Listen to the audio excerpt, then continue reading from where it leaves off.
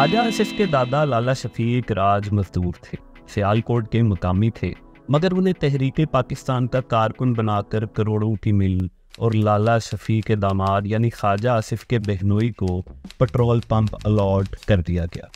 जस्तजु में आज ख्वाजा आसिफ की दास्तान याद की पहली किस्त में हम ये भी जानने की कोशिश करेंगे कि उनका ख़ानदानी बैकग्राउंड क्या है। उनके वालिद उसकी कज़न मम्मा जुआरिया का मशहूर ज़माना सियालकोट का कत्ल केस क्या था? ख्वाजा आसिफ को क्यों अपने वालिद ख्वाजा सफदर के सियासी किरदार पर सफाइयाँ देने की ज़रूरत पड़ी? क्या ख्वाजा सफदर कायद आज़म के साथी थे और क्याम पाकिस्तान में उनका क्या किरदार था? कैसे ख्वाजा सफदर ने दीगर सियासतदानों के साथ मिलकर नवाब इफ्तार ममदोड को तरजीब दी कि वो अलग सियासी जमात बनाएँ ताकि वो मुस्लिम लीग से निकल जाएँ और मुमताज़ दौलताना के लिए सियासी रास्ता क्लियर हो।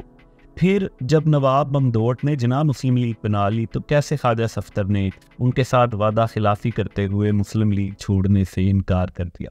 और सबसे बढ़कर जब ख्वाजा सफदर उन्नीस सौ इक्यावन में नवाब ममदोट से इलेक्शन हार गए तो कैसे दौलताना और नवाब ऑफ़ कालाबाग ने उन्हें बिला मुकाबला कामयाब करवाया? एक सियालकोट का बहुत बड़ा रंगबाज है।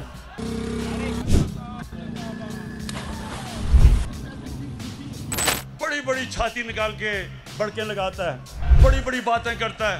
इनसे संभाला नहीं चाहता लोगों को बातें करते हैं। ट्रैक्टर चुप थोड़ी सी शर्म होनी चाहिए। थोड़ी सी हया होनी चाहिए। एक दूसरे की शक्लें क्यों देखते हैं कोई शर्म करो। ऐसा क्या करें? आप वो बात बात करें जो करने वाली हो। पंजाबी में कहते हैं मीसना मीसना। तेरे लाहौर पैड़े और पिशोर भी पैड़े। तेरा नाम ही ले लेना। रंगबाज ख्वाजा टेलीफोन कर रहा है जनरल बाजवा को। जनरल साहब मैं इलेक्शन हार रहा हूँ मेरी मदद करें। कि मैं फौज के अदारे का एहतराम करता हूँ और उतना ही एहतराम करता हूँ जितना फौज आइन और आइनी अदारों का एहतराम करती है। अठावन साल के अंदर अगर अपनी अफवाज जो है, उनकी परफॉर्मेंस देख हाइट डिसमल परफॉर्मेंस जो है, वो रही है इनकी। यहाँ पे हज़ारों एकड़ों में एक नया जीएचक्यू बन रहा है, जिनके अंदर, जिसके अंदर मोहल्लात तमीर किए जा रहे आज भी वो तस्वीर जो पलटन मैदान, ढाका में जनरल न्याजी ने अरोड़ा को ये कह रहे हैं कि ना पंगेला है मैं कोई बुजल नहीं है भावनगर का जट। मेरा नाम खाया आसफ है पाकिस्तान में हर सियासतदान को मालूम था कि सियासी जर्नैलों की तरफ़ से सियासी मामला में मुदाखलत की जाती है। लेकिन हुकूमत लेने के लिए और बाद में हुकूमत चलाने के लिए ये तस्लीम कर लिया गया था कि सियासी जर्नैलों का भी हुकूमत में हिस्सा होता है। ज़माना कुछ वैसा था कि कोई भी इस बारे में बात नहीं करता था। और फिर ख्वाजा आसिफ ने पार्लियामेंट में एक तकरीर की। ये तकरीर बाद में एक तारीखी हैसियत हासिल कर गई। जनाब वाला जागीरदाराना निज़ाम जो है, एक माइंड सेट होता है। जागीरदार जो है, वो ज़मीन की होल्डिंग या लैंड होल्डिंग से नहीं बनता। वो एक जहनी जो है, कैफियत की पैदावार होता है। इस वक्त पाकिस्तान में अगर कोई जागीरदार तबका है तो वो सिर्फ़ और सिर्फ़ जर्नैल हैं और कोई जागीरदार तबका पाकिस्तान में नहीं। और दफ़ा के लिए ढाई सौ अरब रखा गया है और उसके अलावा पेंशनें डाल के तीन सौ अरब जो बीस फ़ीसद बनता है बजट का, वो दफ़ा के लिए रखा गया है। जनाबे वाला, जब हम किसी को पैसा देते हैं तो उसकी परफॉर्मेंस भी देखते हैं। आप पिछले अड़सठ साल के अंदर अठावन साल के अंदर अगर अपनी अफवाज जो हैं, उनकी परफॉर्मेंस देखें तो मैं उर्दू का लफ्ज़ इस्तेमाल नहीं करूँगा, लेकिन अंग्रेज़ी में कहूँगा कि नहायत डिसमल परफॉर्मेंस जो है, वो रही है इनकी पिछले अठावन साल। और किसी जो बजट में इस वक्त इनकी एलोकेशन हुई है, उनके ऊपर इनका हक नहीं बनता। They set the same thing in 1971 and they let the country down मुल्क का मुल्क की आवाम का, इस कौम का, इस कौम की फौज का मुँह जो है वो मट्टी में रगेदा गया। आज भी वो तस्वीर जो पलटन मैदान ढाका में जनरल न्याजी ने अरोड़ा को, ये कह रहे हैं कि ना पंगेला है। मैं कोई बोतल नहीं है भावनगर का जट मेरा नाम खाया आसफ है वो आज भी को वो सीन नहीं बोली। और ये सियासतदानों की बात करते हैं, सियासतदानों ने ज़रूर गलतियाँ की है। जनाब स्पीकर, हम उनका इतराफ भी करते हैं, लेकिन हमारे ऊपर कोई कर्जा बाकी नहीं है। हमने कोड़ों की शक्ल में, फांसियों की शक्ल में, जिलावतनी की शक्ल में, कैदों की शक्ल में अपना कर्जा अदा किया हुआ है। अगर कर्जा अदा करना है तो इस कौम के ज़िले ने करना है। और वो वक्त आएगा जब कौम के हाथ किरण के गिरबान तक पहुँचेंगे और इस कर्जे की पाई पाई वसूल की जाएगी उनसे। और दास्तान क्या है? अड़तालीस, पैंसठ, इकहत्तर, चौरासी और निन्यानवे। कोई आज़ाद कमीशन जो है, इस मुल्क के नुमाइंदों का अगर बैठा दें और इन पाँच जंग जंगों की इंक्वायरी करवाएँ तो किसी भी शख्स में एक व्यक्ति पर भी जो सेल्फ रिस्पेक्ट होगा तो उसका सर जो है झुक जाएगा। लेकिन आज भी ये पूरी पूरी इंट्यूनिटी के साथ अपना सीना चौड़ा करके डिफेंस बजट को क्लेम कर रहे हैं और मांग रहे हैं कौम से। कौम की हड्डियों से गोश्त तक जो है इन्होंने निचोड़ लिया है और उतार लिया है। मैं मानता हूँ ये वेलफेयर स्टेट है।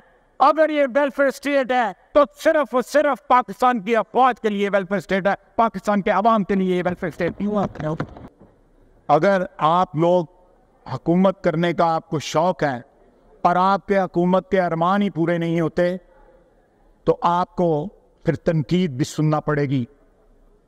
फिर आपको अपने किरदार के ऊपर नुकता चीनी भी सुनना पड़ेगी। मुशर्रफ का स्याह मार्शल्ला था हब्स का मौसम था। और ज़ुबानें गुम थी, मगर उसी दौर में ख्वाजा आसिफ ने जब ये तकरीर की तो पाकिस्तान में हर जमहूरीत से मोहब्बत करने वाला ख्वाजा आसिफ का फ़ैन हो गया। वो वक्त जब किसी में इतनी हिम्मत भी नहीं थी कि ताबेदार दुल्हनों की तरह अपने शोहर का नाम भी ले लिया जाता, ख्वाजा आसिफ ने इस तकरीर में सारा कच्चा चट्ठा खोल कर रख दिया, सारी फ़िलासफ़ी क्लियर कर दी। पाकिस्तान में सियासत का कोई भी तालब इलम जो ये समझना चाहे कि पाकिस्तान में सियासी जर्नैल किस तरह काम करते हैं, पाकिस्तान में सियासतदानों को किन मुश्किल का सामना है और किस तरह से सियासतदान इस मुल्क में सियासत कर पाते हैं, उन्हें इस तकरीर को सुनना चाहिए और समझना चाहिए। ये वीडियो मेरे लिए मुश्किल थी क्योंकि ख्वाजा आसिफ को बतौर पाकिस्तानी सियासतदान मैं बहुत हाई रेट करता हूँ। मगर जब उनकी बायोग्राफी का ख्याल आया तो ये भी ख्याल आया कि इस तरह तो उनके वालिद के सियासी किरदार को भी जेर बहस लाना पड़ेगा। मगर फिर मैंने फैसला किया कि जिस तरह अब तक ज़ाती पसंद, नापसंद से बालातर होकर मैं जस्तजू पर सिर्फ़ सच बताने की कोशिश कर रहा हूँ तो ख्वाजा आसिफ की बायोग्राफी में भी यही सफ़र जारी रखा जाए। ख्वाजा आसिफ खुद भी इस हकीकत से आशना है कि उनके वालिद का सियासी किरदार कोई काबिल तारीफ़ नहीं रहा। जब पीटीआई के रहनुमा असद उमर और ख्वाजा आसिफ के दरमियान लफ्ज़ों की जंग छिड़ी तो एक टीवी शो में ख्वाजा आसिफ बोले जनरल गुलाम उमर के बेटे को कोई हक नहीं कि मुझसे पाकिस्तान से वफादारी के हवाले से सवाल करे। मेरे वाले ख्वाजा सफदर कायद अजम के साथी थे। उन्होंने अगर जनरल ज़ियाउल हक का साथ दिया तो इस पर मैंने पार्लियामेंट में माफ़ी मांगी। लेकिन अगर हम तारीख के और आत्म झांके तो अफसोसनाक तौर पर हमें ये मालूम होता है कि ख्वाजा सफदर का किरदार इससे भी अफसोसनाक रहा। ख्वाजा आसिफ की दास्तान हयात बयान करने से पहले ये लाजिम है कि हम उनके ख़ानदानी पस मंज़र और ख़ास तौर पर उनके वालिद के सियासी सफ़र को समझने की कोशिश करें। ख्वाजा आसिफ के दादा एक मेहनत कश थे, जिनका नाम लाला शफी था। ये राज मजदूर थे। सियालकोट के कश्मीरी मोहल्ले में रहते थे और उनका चंद मरलोगा आबाई मकमन था। इस ख़ानदान की माली हालत ये थी कि हुकूमत से गैर कानूनी तौर पर ज़मीनें अलाट करवाने के बावजूद ख्वाजा सफ्तर सत्तर की दहाई यानी भुट्टो दौर में भी उसी पाँच छः मरले के घर में रहा करते थे और साइकिल पर फिरा करते थे। सियालकोट में ख्वाजा सफ्तर के ख़ानदान का तारुफ और सरगर्मियाँ कोई इतनी काबिल तारीफ़ नहीं थी। इस ख़ानदान के साथ सियालकोट की तारीख में कत्ल और फिर अंग्रेज़ दौर के इंसाफ का एक वाक़ भी जुड़ा हुआ है। ख्वाजा सफ्तर के कज़न मम्मा जुआरिया सियालकोट की तारीख का एक अहम किरदार हुआ करते थे। मुनीर अहमद मुनीर की किताब अन कहीं सियासत में सैयद मुरीद हुसैन इस हवाले से बताते हैं। मम्बा जवारिया होता था, वो कुज्जे का बाप था। जुआ शुआ कराता था, पुलिस का इन्फॉर्मर था। कुर्सी नशीन भी हो गया था, बड़ी उन्होंने प्रोमिनेंस दी थी। पिस्तौल जिसने गले में लटकाया होता था, उसे समझा जाता था गवर्नमेंट में ऊँचे दर्जे का है। उनकी बसें होती थी, मम्मे जुआरिए की। मैंने कोशिश की, लेकिन मुझे मम्मा जुआरिया का असल नाम मालूम नहीं हो सका। लेकिन उनके बेटे कुज्जे का नाम कुदरतुल्ला था। ये क्योंकि ख्वाजा आसिफ के फ़र्स्ट कज़न हैं तो इनकी शक्ल ख्वाजा आसिफ से हु बहू मिलती है। और वाकफान हाल तो ये भी बताते हैं कि जवानी में अगर दोनों को एक जैसे कपड़े पहनाकर सामने लाया जाता तो पहचानना मुश्किल था। ख्वाजा आसिफ की अंकल मम्मा जुआरिया को लेकर पाकिस्तान बनने से कबल सियालकोट की तारीख का एक कत्ल बहुत मशहूर हुआ, जिसमें मम्मा जुआरिया ने मुबैना तौर पर एक मकामी सियासतदान मोहम्मद शफी का कत्ल कर दिया। ख्वाजा आसिफ के ये कदम, यानी मम्मा जुआरिया सियालकोट शहर की एक बासर शख्सियत थे, उनका ट्रांसपोर्ट का बिज़नेस था, उनकी कई बसें थी, ये अपने घर जुआ कराते थे और शहर के लोग उनसे डरते थे। मोहम्मद शफी के कत्ल के बाद मम्मा जुआरिया की बिलो खुलासी कुछ यूँ हुई कि उनके दोनों बेटों अब्दुल करीम और फजल करीम ने इल्ज़ाम खुद पर ले लिया और खुद को पुलिस के हवाले कर दिया। इंतज़ामिया से मिली भगत की गई गवाह इकट्ठे किए गए। अब्दुल करीम को सारा शहर करीमा के नाम से जानता था तो करीमा को तो फांसी हो गई, जबकि उसके भाई फजल करीम को उम्र कैद की सजा हुई। यही फजल करीम जेल में पीर मघड के साथ कैद थे और कहा जाता है कि इसी ताल्लुक की वजह से फजल करीम की जल्दी रिहाई हुई, मगर उस वक्त तक भी वो अपनी सजा के कई साल गुजार चुके थे। यही फजल करीम बाद में ट्रांसपोर्ट का बिज़नेस करते थे। आरटीए यानी रीजनल ट्रांसपोर्ट अथॉरिटी के मेंबर भी रहे। ख्वाजा आसिफ के दादा लाला शफी अनपढ़ थे, मगर उनके वालिद ख्वाजा सफ्तर एक लायक और तेज़ इंसान थे। क्या में पाकिस्तान से कबल मुस्लिम लीग में शामिल हो चुके थे। लेकिन सियासी हलकों में उनकी अहमियत उस वक्त बढ़ी, जब खिजर वजारत के खिलाफ चलाई जाने वाली सिविल नाफरमानी की तहरीक शुरू हुई और इस तहरीक में ख्वाजा सफ्तर जलसे जुलूसों को मुनज़म करते थे और कई बार गिरफ़्तार भी हुए। क्याम पाकिस्तान से पहले ख्वाजा सफ्तर मुस्लिम लीग के कारकुन के तौर पर तहरीक पाकिस्तान में हिस्सा लेते रहे और यही सियासी किरदार तारीख में नज़र आता है? उन्हें क्याम पाकिस्तान से पहले मुस्लिम लीग का कोई इंतज़ामी अहदा नहीं मिला था? मगर वो अपनी जगह बना रहे थे। ऐसे में जब उन्नीस सौ सैंतालीस में कायद अजम ने नवाब ममदोड को वज़ीर अला पंजाब मुकर किया तो मुमताज़ दौलताना उनके वज़ीर ख़जाना बनाए गए। मगर इन दोनों मुस्लिम लीगी रहनुमाओं के दरमियान ज़बरदस्त चपकलश यानी पर्सनैलिटी क्लैश शुरू हो गया। लाहौर का ममदोट हाउस और दौलताना हाउस तो क्याम पाकिस्तान से पहले ही सियासी सरगर्मियों का मरकज़ बन चुका था। अपनी सियासी सरगर्मियों के दरमियान ही ख्वाजा सफ्तर का टिल्ट दौलताना ग्रुप की तरफ़ था। उन्हें 1948 में पहली बार सियालकोट मुस्लिम लीग का सदर बनाया गया। तो ये दौलताना ग्रुप की ही मेहरबानी थी। ये वो वक्त था जब जून 1947 में दौलताना के बयान के बाद, यानी ज़रूरी नहीं कि मैं और ममदोट एक ही पार्टी में रह जाएँ, अब इसको अमली शक्ल दी जा रही थी। अफसोसनाक तौर पर ममदोट और दौलताना में ये ग्रुप बंदी पाकिस्तान के लिए बहुत ख़तरनाक और जहर कातिल साबित हो रही थी। पाकिस्तान में मुस्लिम लीग के रहनुमा घनावी साजिशों में मसरूफ़ थे। मुमताज़ दौलताना और ममदोट की इस गिरोहबंदी की वजह से पाकिस्तानी अवाम को नुकसान हो रहा था। अमीर अब्दुल्ला रोकड़ी अपनी किताब मैं और मेरा पाकिस्तान में ख्वाजा सफ्तर का तारफ़ कुछ यूँ करवाते हैं। ये चूँकि ऐसे कायदे हिजब इख्तलाफ थे जो हुकूमत के साथ गहरे रवाबित भी कायम रखते थे। और चूँकि नवाब साहब कालाबाग अपनी गवर्नरी के ज़माने में हुकूमत के अक्सर सियासी काम, जिनमें हिजब मुखालिफ की हसब ज़रूरत, सरपरस्ती, रवाबित और जोड़ तोड़ की ज़िम्मेदारी मुझ पर हुआ करती थी, इसलिए मेरे उनके साथ ताल्लुक एतमाद ताउन काफ़ी बढ़ गए थे।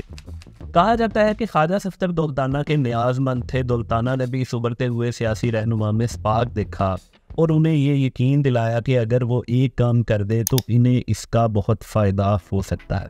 दौलताना ने मलिक अब्दुल अज़ीज़ और ख्वाजा सफ्तर को ये मिशन सौंपा कि वो किसी तरह नवाब ममदोड को शीशे में उतारे, उन्हें बेवकूफ़ बनाए और उन्हें मुस्लिम लीग से निकाल बाहर करें। क्योंकि उनकी मौजूदगी में दौलताना की बात नहीं बन सकती थी। सीनियर सहाफ़ी मुनीर अहमद मुनीर की तारीखी किताब अनकही सियासत में सैयद मुरीद हुसैन कुछ यूँ बताते हैं। एक वो और दूसरे ख्वाजा सफ्तर नवाब साहब ममदोट की कोठी में उनसे मीटिंगें किया करते थे और नवाब साहब को कायल करते थे कि आप अपनी जमात बनाएँ। हम नवाब साहब की मुखालफत करते थे कि आप मुस्लिम लीग ना छोड़ें। आपसे जमात नहीं बनेगी, ये बड़े आदमियों का काम है। आप भी बड़े आदमी हैं, लेकिन इस तरह के नहीं कि पार्टी बना सके। कायद अजम और गांधी जैसे लीडर पार्टियाँ बनाते हैं। आपसे पार्टी तो बनेगी नहीं, लेकिन हम जिनका आपसे एक ताल्लुक है, बगैर लीडर रह जाएँगे। दरअसल ख्वाजा सफदर ममदोड को ये यकीन दिलाने की कोशिश कर रहे थे कि वो इस कद काट के सियासी रहनुमा हो चुके हैं। कि अगर वो अलग सियासी जमात बना लें तो दीगर सियासतदानों की ब्लैक मेलिंग से बचकर अपनी हुकूमत बनाएँ। और इस सिलसिले में ख्वाजा सफ्तर उनके साथ कई सियासी रहनुमा, जिनका मुस्लिम लीग से ताल्लुक है, वो उनका साथ देंगे। और कारकुनों की तरफ़ से उन्हें मुकम्मल सपोर्ट शामिल रहेगी। मगर असल में यह दुल्ताना की तरफ़ से ममदोट के लिए एक ट्रैप था, और अफसोस के साथ ममदोट ख्वाजा सफ्तर की बातों में आ गए मुनीर अहमद मुनीर की किताब अन कही सियासत में सैयद मुरीद हुसैन बताते हैं। दौलताना की प्लानिंग थी, दौलताना ने ही ख्वाजा सफ्तर और मलिक अब्दुल अज़ीज़ को नवाब साहब के पास इस मिशन पर भेजा कि उन्हें मुस्लिम लीग छोड़ने पर आमादा करें। क्योंकि उन्हें पता था कि अगर नवाब साहब ममदोट मुस्लिम लीग में रहते हैं तो उनका बड़ा मज़बूत ग्रुप है और ये उनके लिए दर्द सर बने रहेंगे। ये दोनों नवाब साहब से कहते थे आप पार्टी बनाएँ, हम भी मुस्लिम लीग छोड़ देंगे। उनका मिशन मुकम्मल हो गया। नवाब साहब ने मुस्लिम लीग छोड़ दी, लेकिन ये हजरात मुस्लिम लीग में ही रहे। नवाब साहब ने जना मुस्लिम लीग बनाई, सोहरवर्दी साहब ने अवामी मुस्लिम लीग बनाई थी। फिर ये दोनों मदगम होकर अवामी जना मुस्लिम लीग हुई।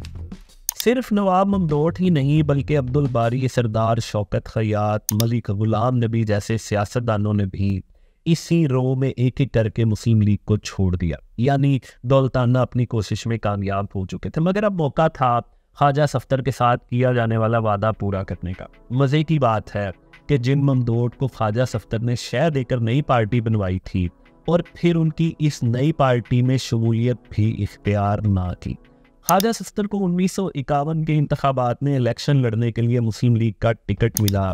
उन्हें लियाकत अली खान की तरफ़ से इलेक्शन के लिए पच्चीस हज़ार रुपये मिले। और वो पहली बार रुकने असम्बली बने, लेकिन इसकी कहानी भी सुनने से ताल्लुक़ रखती है। दूसरी तरफ़ नवाब इफ्तार ममदोट ने बदला लेने के लिए उन्नीस सौ इक्यावन में ख्वाजा सफ्तर के मुकाबले में इलेक्शन लड़ने का फैसला कर लिया। ये भी कहा जाता है कि नवाब ममदोट ने ऐसा सिर्फ़ ख्वाजा सफ्तर को सबक सिखाने के लिए किया था। नवाब ममदोट ने जिना मुस्लिम लीग बना ली थी। और फिर ख्वाजा सफ्तर इस सिलेक्शन में नवाब ममदोट से हार गए। मुनीर अहमद मुनीर की किताब अनकही सियासत में सैयद मुरीद हुसैन इस कहानी का हवाल कुछ यूँ बताते हैं। ख्वाजा सफ्तर का मुकाबला नवाब ममदोड जैसी हर दिल अज़ीज़ और अवामी शख्सियत से था। मैं उस वक्त प्राइमरी स्कूल में पढ़ता था, ख्वाजा सफ्तर के बैनर्स वगैरह पर लिखा जाता था। कि अपने शहरी को वोट दे। मैंने एक रोज़ अपने वालिद साहब से पूछा कि ख्वाजा सफ्तर के साथ तो लिखा होता है, आपके शहर के रहने वाले हैं, उन्हें वोट दें और आप ममदोट के हामी हैं। बमदोट कौन है? मेरे वालिद साहब ने जो जवाब दिया, वो आज भी अल्फाज की उसी तरतीब से मुझे याद है। कहा बमदोट ने पाकिस्तान बनाया है। ज़ाहिर है, ममूले का शहबाज से मुकाबला हो तो मसला नाजुक हो जाता है। इसीलिए ख्वाजा सफदर तरजीही सलूक के मुस्तक थे। फिर वही हुआ, ख्वाजा सफदर नवाब ममदोट के मुकाबले में ये इलेक्शन हार गए। नवाब ममदोट ने लाहौर और सियालकोट की दो नशिस्तों से इलेक्शन लड़ा था, मगर उन्होंने गलती ये की कि उन्होंने सियालकोट की नशिस्त खाली कर दी। हालाँकि उन्हें लाहौर की नशिस्त खाली करनी चाहिए थी। और इस तरह ख्वाजा सफ्तर का सियासी सफ़र, यानी रुकने इसम्बली बनने का सफ़र शुरू ही ना हो पाता। ख्वाजा सफ्तर ने दौलताना के लिए जो कारनामा किया था, इसके बदले उन्हें नवाजना मकसूद था। तो जब नवाब ममदोट ने वो नशिस्त खाली की और ज़मनी इंतखब हुए तो सियासी मैनेजमेंट से ख्वाजा सफ्तर को पोलिंग के बगैर ही इलेक्शन जितवा दिया गया। यानी ख्वाजा सफ्तर पहली बार रुकने इसम्बली भी धांधली से बने और सियासी मैनेजमेंट से बने। इसमें अहम किरदार दौलताना ग्रुप में शामिल उस वक्त के सियालकोट के डिप्टी कमिश्नर अनवारुल हक ने अदा किया। यही अनवारुल हक बाद में पाकिस्तान के दरक्षा चीफ जस्टिस बने। और इस मनसब तक पहुँचने के बाद यही वो चीफ जस्टिस थे, यानी जज थे, जिन्होंने भुट्टो को फांसी की सजा दी थी।